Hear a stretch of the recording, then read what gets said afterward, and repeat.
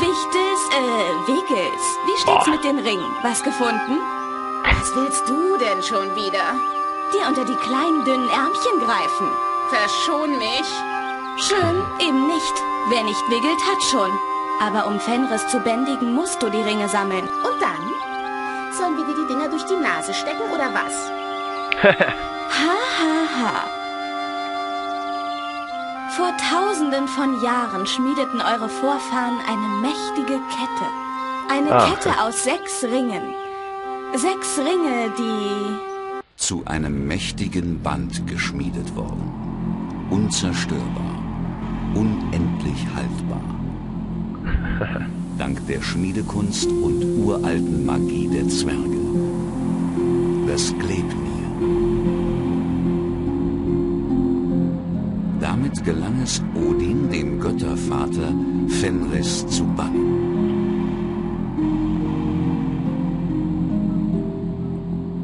Tja, nun ist er ausgebüxt. Dumme Sache.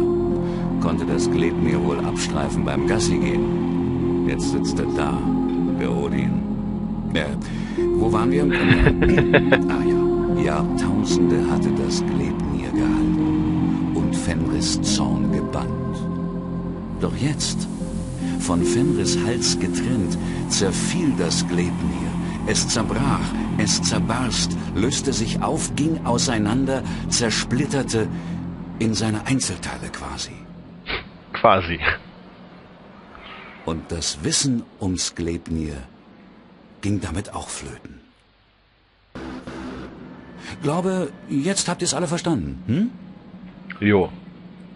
Irgendwo in der Unterwelt warten die sechs Ringe auf ihre Entdecker. Die Wiggles. Sie müssen das Glöckner schmieden, dieses unzerreißbare Band, um Fenris erneut in Ketten zu legen. Und diesmal für immer. Na, klingt doch beinahe zu einfach.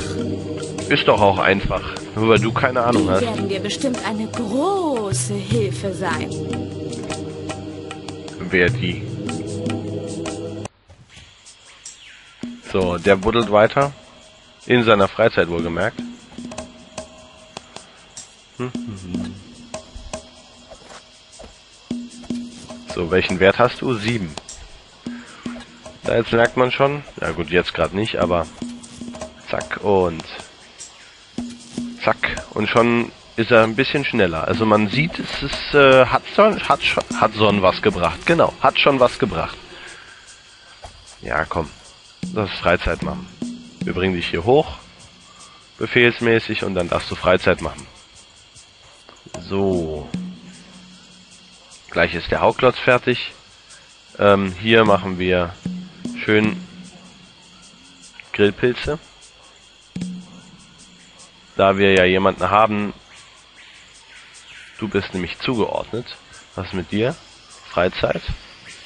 Und was ist mit dir? Wo bist du überhaupt? Hallo, wer bist du? Da.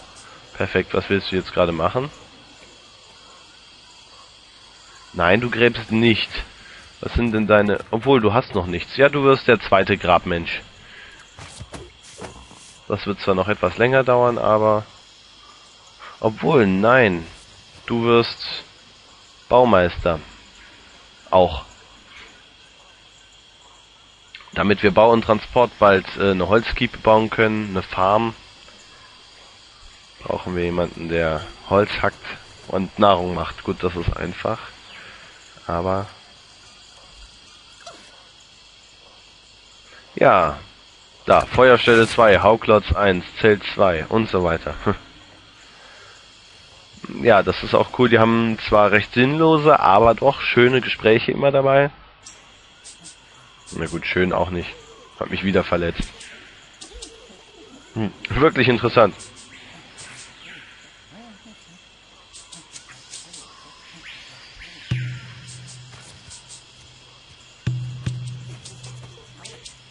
Hä. Ach so, ja klar. Die muss jetzt sammeln.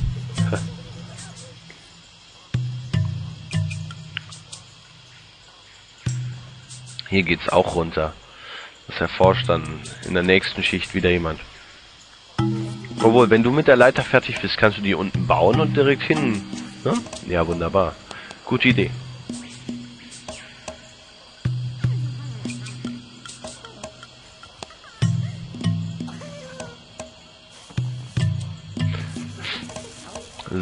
Am Anfang ist es wie gesagt immer ein bisschen warten.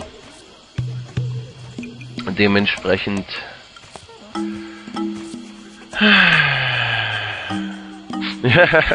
ich kenne mich hier schon gut aus. Naja, ich arbeite fast an nur einem Ort. So. Es wurde gar nicht die Nachricht geschickt, dass man... Oder wurde das geschickt, dass man den Haugloss erfunden hat? Da gibt's immer so lustige Moment mal. Äh, Produktion, Stammbaumaufträge, Stammbaum. Nanu? Nichts zu sehen. Ähm, ja, Spiel speichern. Hier ist das alte, wo ich versehentlich ähm, den Ton nicht aufgenommen habe. Spiel fortsetzen. Muss doch unter Hilfe. Nein.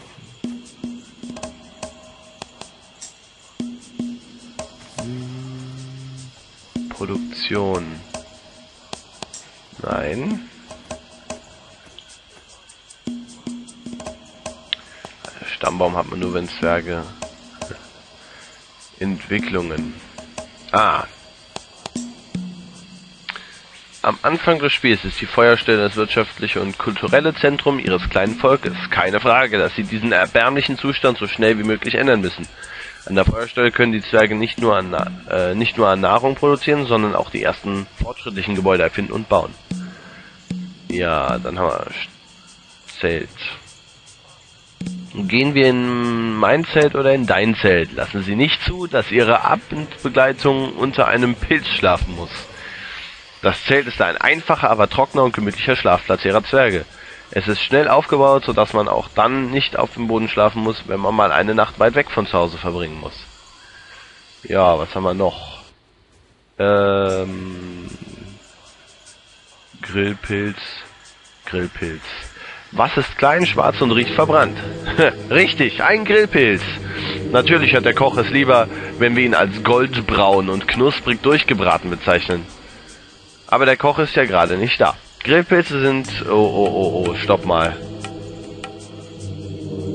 Grillpilze sind vorerst der wichtigste... Äh, wir machen gleich weiter. Wer bist du? Du bist zugewiesen zur Feuerstelle, du gehst hier nicht hoch. Kannst den Pilz hier ernten. Moment, was ist mit dir? Kannst nicht den Grillpilz machen. Das macht die andere. So.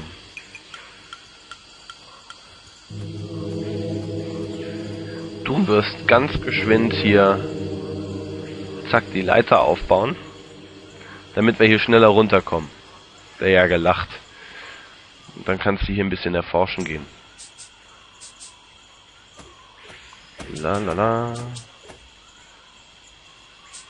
Das nächste Gebäude müssen wir nämlich, die Farm zum Beispiel, oder äh, ja, den Steinmetz zum Beispiel,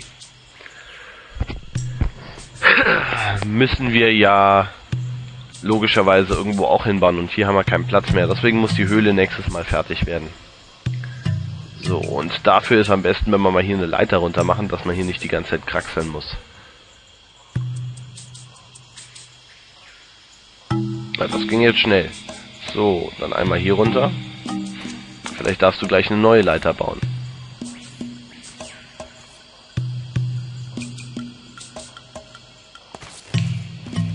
Wunderbar.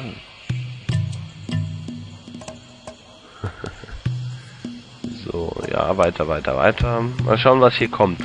Vielleicht kriegen wir auch gleich unseren ersten Kampf zu sehen. Wenn die ersten, wie hießen die? Keine Ahnung mehr. Da waren irgendwelche Viecher. Oh, eine Schatztonne. Am Anfang echt praktisch. So. Ja, später auch, aber am Anfang halt umso mehr. Vielleicht ist ja sogar eine Waffe oder so drin. Nein, aber ein Grillhamster.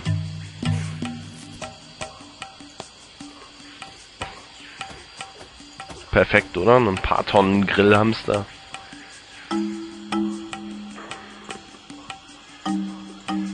Nanu? Achso, jetzt geht die runter Pilze hacken. Naja, okay. Kann mir relativ sein. Komm weiter runter.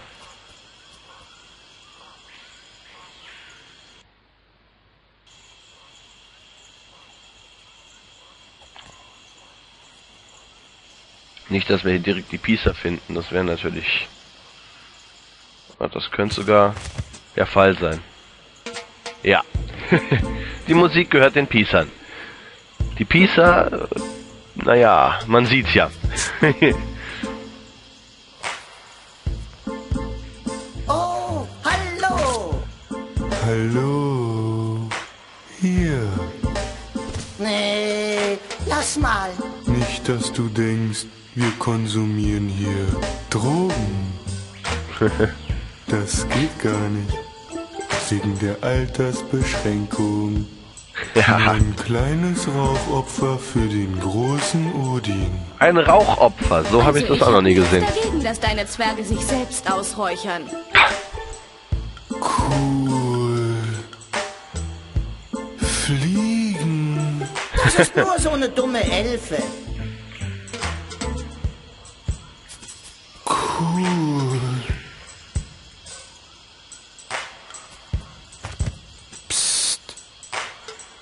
Trolle.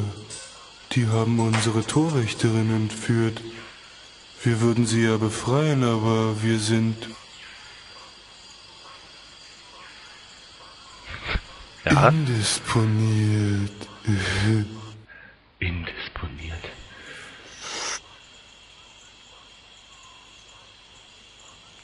Die haben einfach gar keinen Bock. Und was gebt ihr uns, wenn wir eure Torwächterin holen?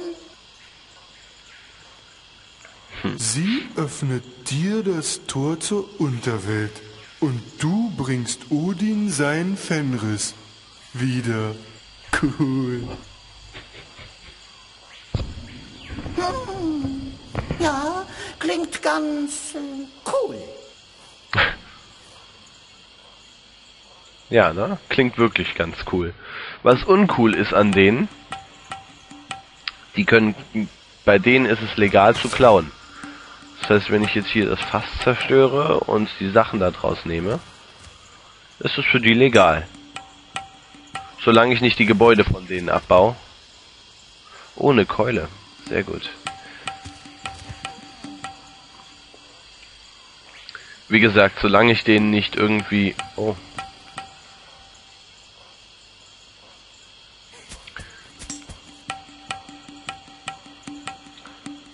Solange ich den nicht irgendwie...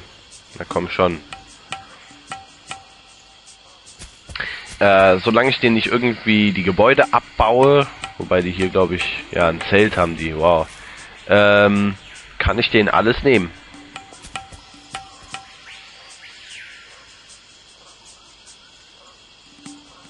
So, nehmen mit.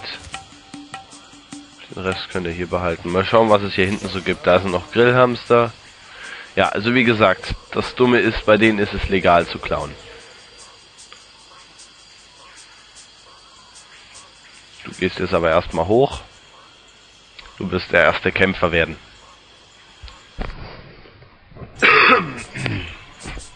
So, wo ist...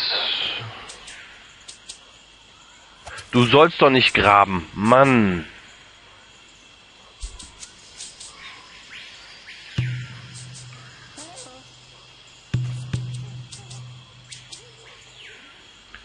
Ansgar. Ansgar, du wirst graben gleich.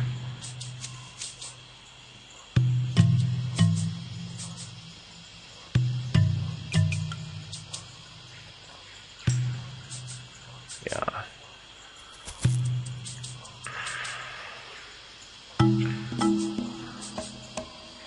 Und zwar jetzt.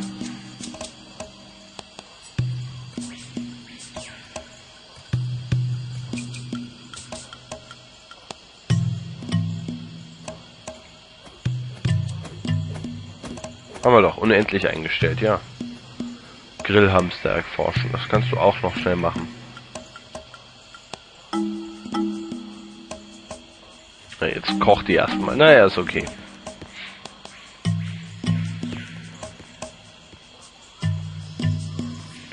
Befreie die Torwächterin. Ist eine neue Aufgabe.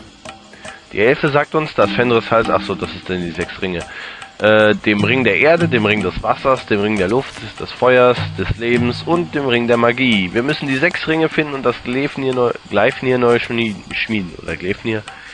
Anders kann der Höllenhund nicht bezwungen werden. Die fehlenden Ringe müssen irgendwo unter der, Un unter der Unterwelt sein. Als Fenris ausbrach, wurde das große Tor zur Unterwelt verschlossen. Leider müssen wir aber genau da durch. Nur die Torwächterin kann das Tor für uns öffnen. Aber wie der Clan der Pisa uns berichtet hat, ist sie von den Trollen entführt worden und wird nun in ihrem eigenen großen Trollbock tief unter der Erde. Hä? Nein. In einer großen Trollbock gefangen gehalten. Wir müssen sie unbedingt finden und befreien. Wahrscheinlich liegt die Trollbock tief unter der Erde. So, was machst du hier? Bau und Transport. Wie wär's, wenn du wie wäre es, wenn Evan hier hingeht? Und da wir den Steinmetz erfinden können, wirst du ja auch gleich. Ja, wunderbar. So, ein bisschen wegzoomen. Das hatten wir ja gerade, das Menü. Ja, Nina, was hast du denn? Holz. Du gehst jetzt erstmal hier. Ne, hier hin.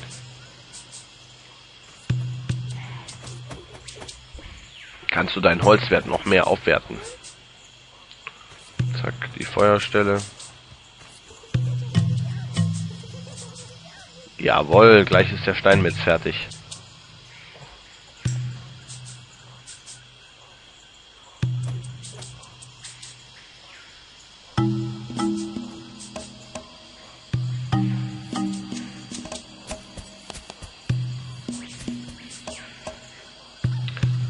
So, zack, zack.